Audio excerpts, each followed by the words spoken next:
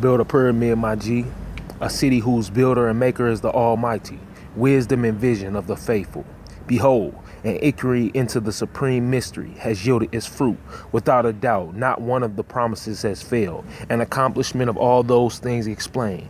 As sure as daylight and the full moon has been upon the earth was the presence of my Lord. He taught me from a youth with care and attention, keeping me in all things, ordering my every step. The love he had for me was overflowing, altogether special. He showed me great and mighty things. I accomplished wonderful deeds by his strength.